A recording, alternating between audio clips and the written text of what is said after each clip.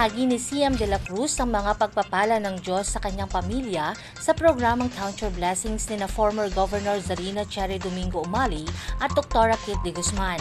Nagtapos si CM ng bachelor's at master's degree sa psychology at kasalukuyang nagtatrabaho sa PhilMec sa ilalim ng Department of Agriculture. Patuloy umano siyang naglilingkod sa Panginoon dahil nasaksihan niya ang mga himala nito na nagbigay ng matibay na pananampalataya sa kanilang pamilya. Um, yung sa family ko po, literal po na ano, um, kaya ako patuloy naglilingkod kay Lord kasi totoo po yan na I have tasted and seen po yung miracle po ni si Lord. Yung kumbaga merong isang pangyayari po na only God can do. Yung kahit kahit yung mga tao hindi nila rin kayang gawin. Kaya, Yes. kaya mas nababanggit natin miracle siya kasi it is just God.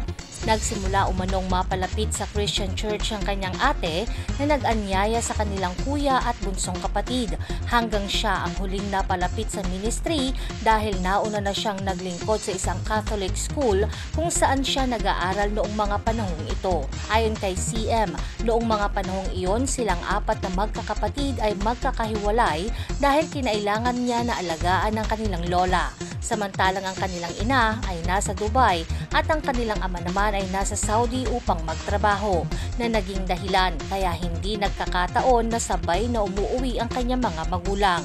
Bagamat maayos ang kanilang pamumuhay, inamin ni CM na matindi ang kanilang pananabik na makasama ng buo ang kanilang pamilya. Dahil dito, nang inimbitahan siya sa simbahan, ay ipinanalangin anya niya sa Panginoon na makauwi na ang kanyang mga magulang at makalipas ang tatlong taon niyang paghihintay sa mismong araw ng kanyang kapanganakan ay natupad ang kanyang hiling at sa kauna-unahang pagkakataon ay sabay-sabay silang nagsalo sa hapagkainan bilang isang buong pamilya. nung time po na yon, ah, na-invite po sa church, I was ah, 16 years old. Tapos, um, nung na-in love ako kay Lord, talagang may prayer po ako na either I cried to the Lord, I cried to the Lord po talaga. Pinag-pray ko po talaga, Lord, sana po mabuo kami, ganyan. Tapos, from 16 years old, ang prayer ko po noon, sabi ko, Lord, um, pauwiin mo na po ang papa kasi umuwi na po ang mama. Tapos, nung umuwi na po, yun na po yung answered prayer. I was 19 years old. Opo, 3 years po. Three years First time po namin, opo, first time po namin kumain ng family. Wow! Ang sama-sama. Grabe! 19 years old. Hindi ko po makakalimutan, birthday ko po yun. Grabe! opo, yun po talaga. Um, yun po yung prayer na only God can do.